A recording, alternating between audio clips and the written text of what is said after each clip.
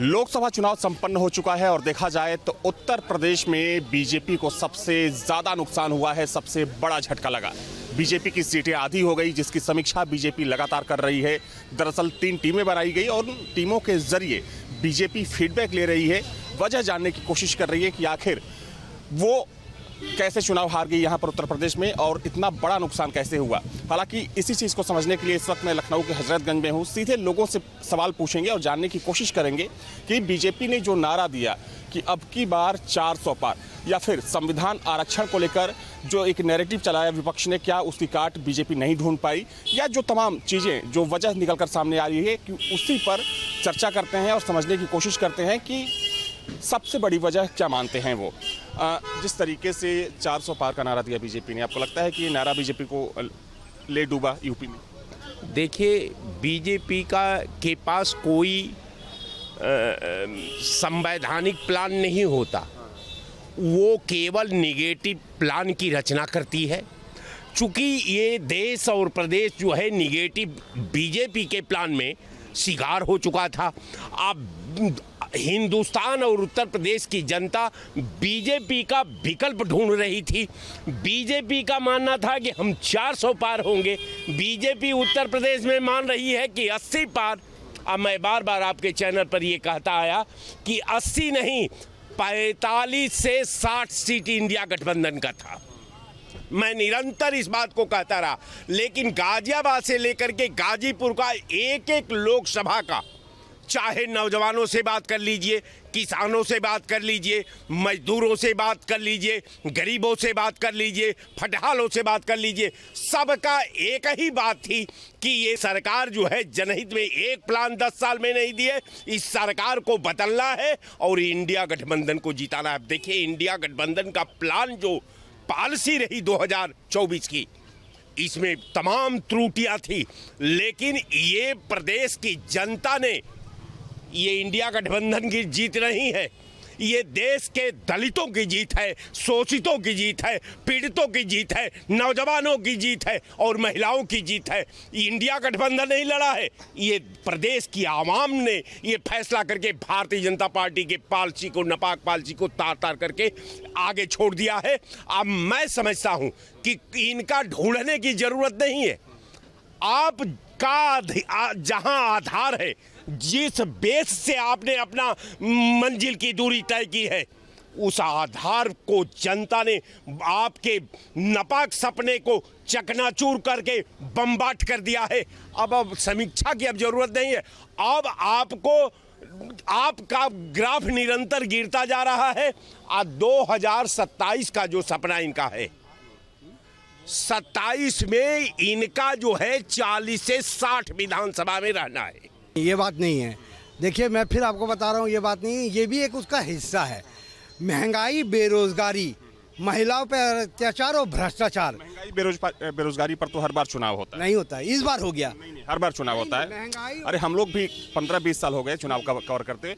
हर चुनाव में नारा होता है महँगाई और बेरोजगारी को हटा इस बार ज़्यादा हो गया था क्योंकि आदमी बेरोजगार था गरीबी गरीब हो रहा था अमीर अमीर हो रहे थे इनके पास कोई पॉलिसी नहीं था।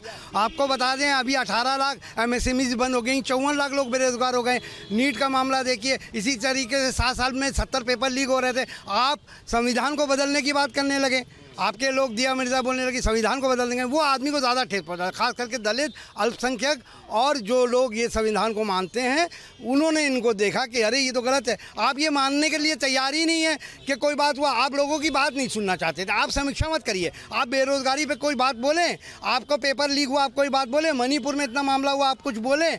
आपका भ्रष्टाचार इतना बड़ा था आपने संविधान को बदल के कानून लाया था इलेक्ट्रल बॉन्ड का उसमें आपने घपला किया। आप देखिए जो राम को जो जो राम को धोखा दे देता है जो भगवान को धोखा देंगे वो इंसान को क्या छोड़ेंगे आज रा, राम लाला का मंदिर चूरा है पहले बारिश में और जहाँ राम लाला विराजमान है वहाँ भर गया। आप एक राम मंदिर बनाए हैं इस तरीके से उनका पथ गड्ढा आ गया। आप बताइए उनके प्लेटफॉर्म में दीवार गिर जा रही है। आप भ्रष्टाचार कर रहे हो ये आदमी को दिख नहीं रहा है।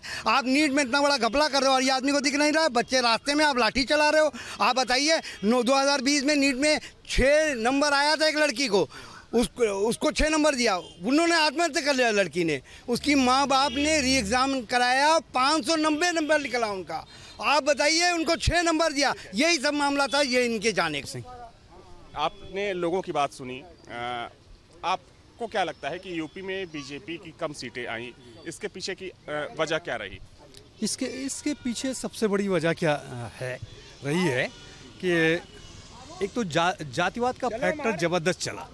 जो एक नैरेटिव चलाया विपक्ष ने संविधान और आरक्षण को लेकर बीजेपी उसकी काट नहीं ढूंढ पाई? हाँ सही कह रहे हैं। वो उसकी काट बीजेपी ढूंढ नहीं पाई। जबकि संविधान को बदलने के लिए बहुत बड़ी ताकत की आवश्यकता पड़ पड़ती है अगर बीजेपी बदलती।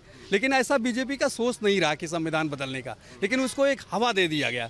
विपक्ष की तरफ़ से एक हवा ऐसा दिया गया कि वो आम जनमानस के दिमाग में बैठ गया कि हो सकता है ये अगर 400 सीट पार कर गए तो ये संविधान बदल देंगे और बहुत सी चीज़ें बदल देंगे। अच्छा आपको लगता है? और जो बीजेपी ने एक नारा दिया था 400 पार का नारा कहा जा रहा है कि वो भी बीजेपी के लिए घात, घातक साबित हुआ क्योंकि बीजेपी के कार्यकर्ताओं को लगा कि अब तो 400 सीटें आ ही रही हैं तो फिर मेहनत करने की क्या ज़रूरत है? हाँ ये सही है कि वो चार सौ पार का नारा देना ये बीजेपी के लिए घातक साबित हो गया। इसलिए घातक साबित हो गया कि कार्यकर्ताओं में तो जोश बैठा ही है और उधर आरएसएस जो है एक एक एक साइड हो गई।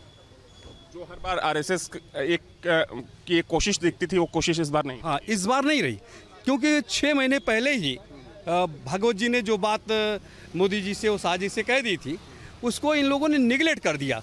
नहीं तो यहाँ यूपी में भी पूरी सीटें आती। पूरे देश में वो 400 के पार निकल जाते ये आरएसएस की देन रही कि आरएसएस का सपोर्ट ना करना बीजेपी को ये बीजेपी हाशिए पर चली गई। कुछ लोगों का कहना है कि बीजेपी के अंदर जो फूट पड़ी जो भीतरघात हुई वो भी एक वजह रही। हाँ फूट भीतरघात तो था ही और आपस में फूट भी थी। और फूट का सबसे बड़ा कारण एक तो क्षत्रिय फैक्टर अलग हुआ कि ठाकुरों में एक राष्ट्रीय स्तर पर एक यूनिटी बन गई। कि बीजेपी को अगर हम नहीं हराएँगे तो हो सकता है ये यहाँ के योगी आगे आदित्यनाथ जी को ही किनारे लगा दें। शैलेंद्र उपाध्याय। शैलेंद्र जी आपको क्या लगता है कि जो बीजेपी का अति आत्मविश्वास था वो बीजेपी को ले डुबा यूपी में? नहीं ऐसा कुछ नहीं था। विपक्ष के द्वारा जो गलत अवेयरनेस फैलाया गया कि संविधान चेंज हो जाएगा और उस पर जो है जनता इफ़ेक्टेड हो गई। और उसके जो हमारे दलित भाई अनुसूचित जनजाति के लोग थे वो अ, क्या बोलते हैं उसमें अ, गलत इन्वायरमेंट में वो लोग बह गए। उसके वजह से आपको लगता है कि संविधान और आरक्षण को लेकर जो नैरेटिव चला वो बीजेपी के लिए घातक था? बिल्कुल बिल्कुल बिल्कुल। इसमें अ, कोई दो राय नहीं है। ये गलत विपक्ष के द्वारा गलत अवेयरनेस फैलाया गया। जिसके वजह से जनता का मन में थोड़ा सा डि- अ, वो हुआ था बस। कुछ लोगों का ये कहना है कि बीजेपी के अंदर जो भीतर घात हुई इनके अपने लोगों ने ही बीजेपी के खिलाफ वोट करवाने का काम किया। आपको लगता है कि कुछ फैक्टर भी देखिए हाँ कुछ हद तक किया है। उत्तर प्रदेश में इसलिए किया है क्योंकि जब भी कार्यकर्ता जाते हैं किसी मंत्री के पास या किसी के अधिकारी के पास तो मन कोई भारतीय जनता पार्टी के कार्यकर्ता का अधिकारी लोड नहीं लेता है। जिसके वजह से कार्यकर्ताओं के अ, मन का जो अ, जो वो होता है कि नहीं हमें एक भारतीय जनता पार्टी का कार्यकर्ता हूँ एक है ना तो होता है वो वहीं से डाउन हो जाता है उनका काम नहीं होता है। ना तहसील पे काम होता है ना ब्लॉक स्तर पे काम होता है ना थाने पर काम होता है ना चौकी पे काम होता है। किसी की पैरवी लेकर जाते हैं तो इंस्पेक्टर सुनता नहीं है ना एसडीएम सुनता है। ऐसे इस तरीके से तमाम भारतीय जनता पार्टी के कार्यकर्ताओं को कार्यकर्ताओं का मनोबल डाउन हुआ जिसके वजह से कार्यकर्ता भी थोड़ा सा नाराज़ दिखे। और उतना जो पहले अ, 2014 और 2019 में एक्टिव थे कार्यकर्ता वो उस तरीके से कार्यकर्ता अपना इस चुनाव में एक्टिव नहीं दिखे। कहा जा रहा है कि संघ और बीजेपी के बीच में इस चुनाव में जो दूरी बढ़ी या जो दूरी बनी वो भी एक प्रमुख नहीं नहीं ऐसा कुछ नहीं है। कहीं संघ से और भारतीय जनता पार्टी की कभी दूर दूरी हो ही नहीं सकती है। एक थाली के थाली में जैसे चावल और दाल एक साथ परोसा जाता है उस तरीके से भारतीय जनता पार्टी के आरएसएस और भारतीय जनता पार्टी है। दोनों लोग पैरलर चलने वाले लोग हैं। कभी इन लोगों में कोई दुराव नहीं है। इस इस चीज़ को मैं स्पष्ट रूप से बता देना चाहता हूँ। इसी मुद्दे पर हमने तमाम लोगों से बातचीत करने की कोशिश की। मिक्स रिएक्शन यहाँ पर देखने को मिला और ज़ाहिर सी बात है कि बीजेपी की सीटें कम हुई हैं उत्तर प्रदेश में, लेकिन चूँकि केंद्र में बीजेपी की सरकार बनी है, हालाँकि बीजेपी हार की समीक्षा कर रही है और जल्दी जो यूपी में सीटें कमाई बीजेपी की आधी सीटें हो गई। उसके पीछे की असल वजह क्या रही? चूँकि तीन लेवल का सर्वे बीजेपी करा चुकी है और जल्द ही वो सर्वे जो बीजेपी का आला कमान है, उसको सबमिट भी की जाएगी।